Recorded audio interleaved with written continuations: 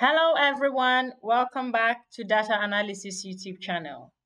For this particular video, we will be looking at a very important function um, in Microsoft Excel, which is called consolidate.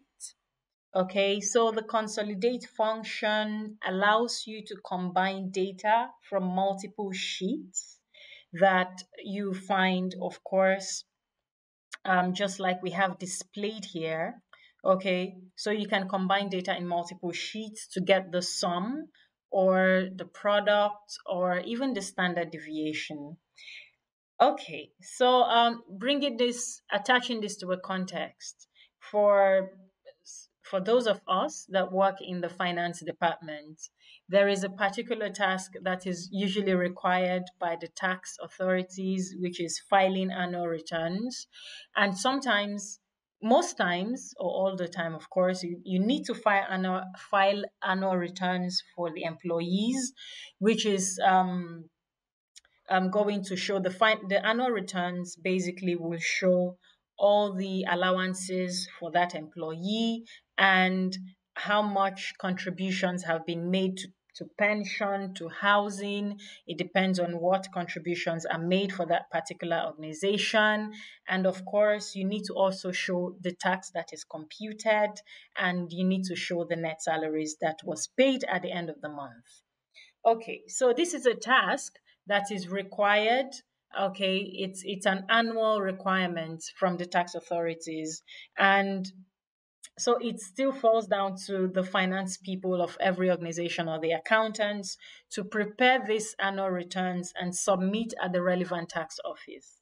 So basically, um, we you need to get the payroll information of all the staff for all the months, okay, and add them up at the different requirements for all the months so that you can get how much was paid as taxes for the year how much allowances was um, for that staff for all for, for the entire year from January to December, and also the net salaries paid to the staff at the end of the month for one year.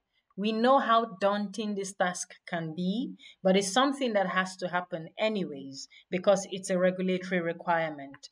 And even it's even it gets even more daunting because um, we know what happens throughout the year. Sometimes you have staff who leave the organization. Sometimes you have staff who join the organization in the middle of the year.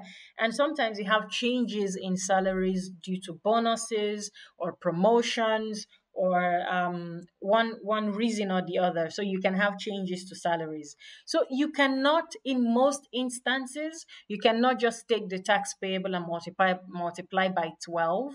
Okay, so for example, if you're trying to file annual returns for this particular personnel whose name is Doorbell, you cannot exactly take um, this tax payable in column J and multiply by, by 12.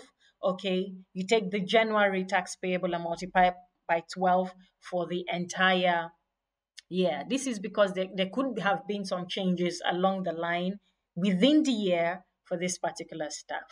So a lot of changes happen in the payroll, and this is why this task can be very daunting. And it's, of course, when you have a large um, employee base, it's even more challenging. But with the consolidate function, this is very easy to achieve. You can achieve this task within minutes. Okay, so if this is the first time for um, coming to this YouTube channel, please do well to subscribe and hit the like button and also drop a comment in the comment section and hit the notification bell so that you will be notified when new videos are uploaded to this YouTube channel. So let us get started.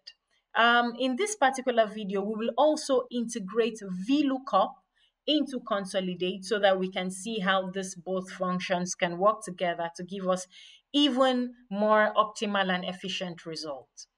So we have the payroll information from January to December, okay, in all the sheets, just like we have seen, and the sheets have been named with the first three alphabet of the month.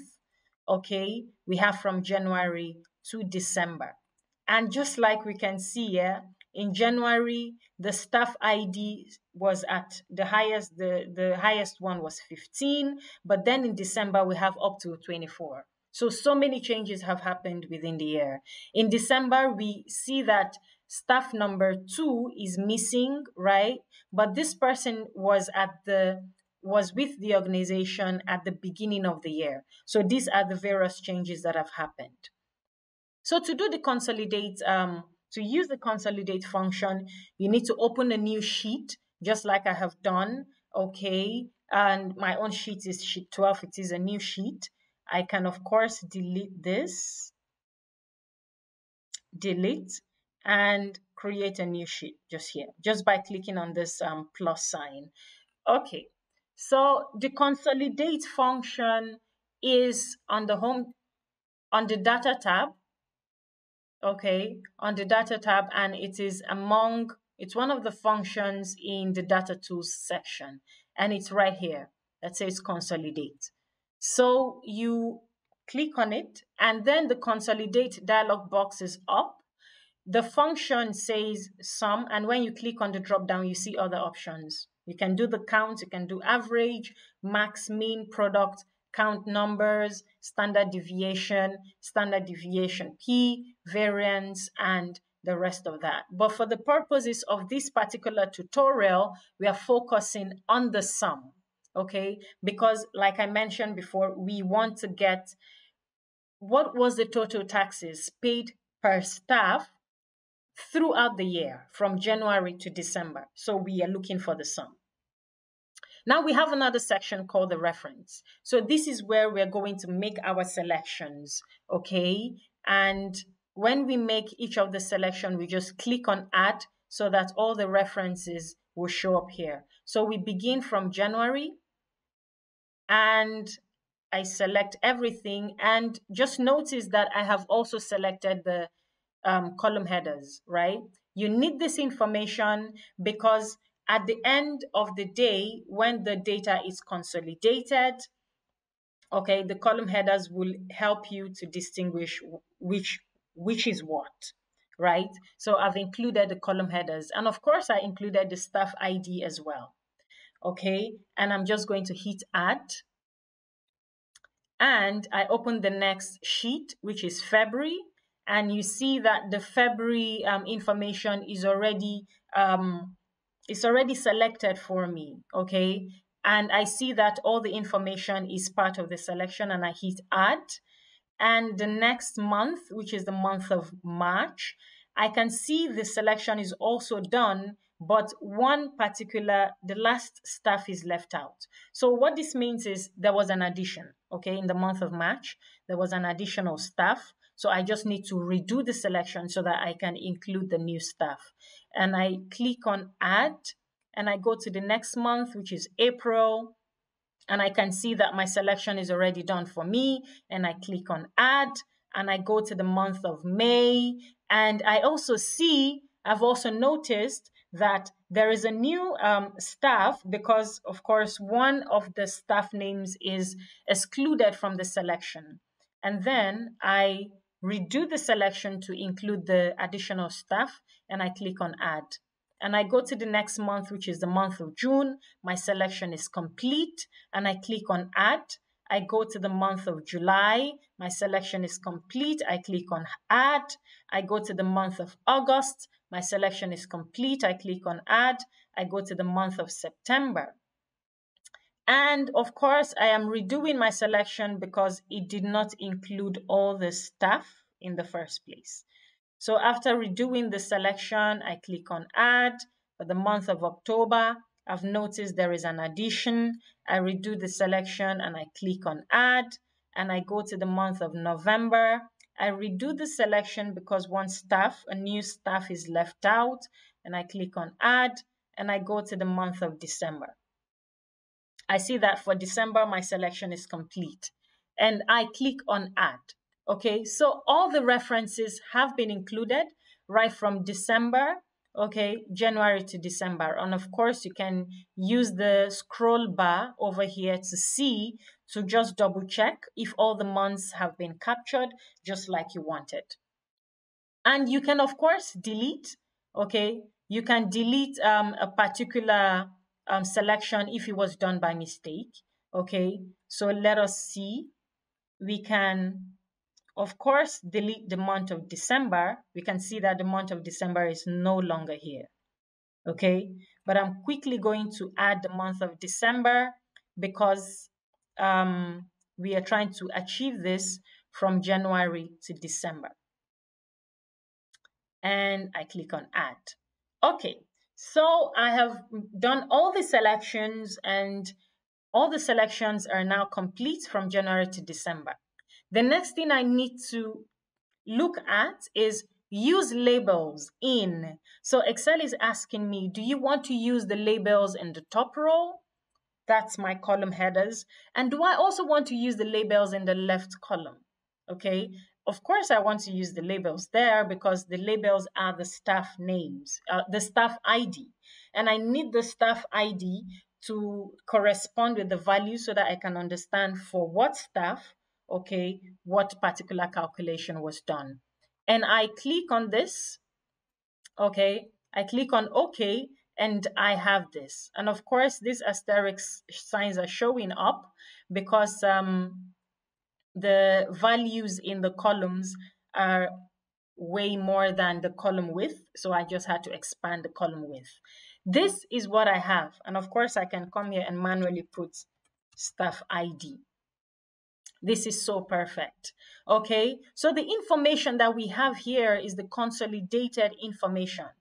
If you want to do a quick check, if you go and add the basic salary, okay, for this staff, staff number one, if you add this, the basic salary for all the months from January to December, you're going to have this value. This is so easy, okay? And of course, it took note of all the additions, um, to the payroll that was done in the year. And of course, like this staff who left sometime along the year, it's just giving you the summation of only the information it recognized for this staff ID. Now, the next question is, who's um, who has all the staff ID? What's the name of the staff that has all the staff ID? And what are the, what are their positions? Of course, we cannot come here and do copy and paste because like you see, okay, at some point, some staff left. At some point, some staff were added. So, I mean, it's going to be really tasking. And of course, we do not even have the staff names. We do have the staff names, but it's going to be really tasking to go back and forth. We can just easily use VLOOKUP to help us with this. And of course, we did a full video on VLOOKUP okay, and also HLOOKUP. And the link to that video is in the description box. So if you want to understand the basics of VLOOKUP, so please do well to look at that video, video to have a really good understanding on VLOOKUP.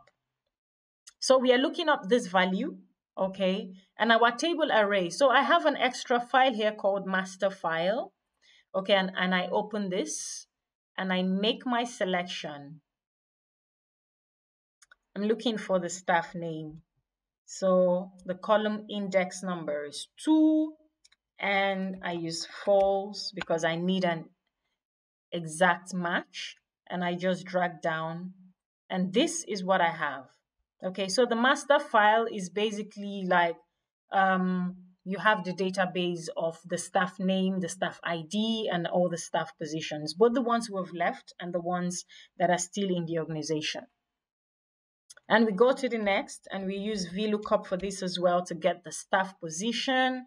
And I do this and the lookup value is that.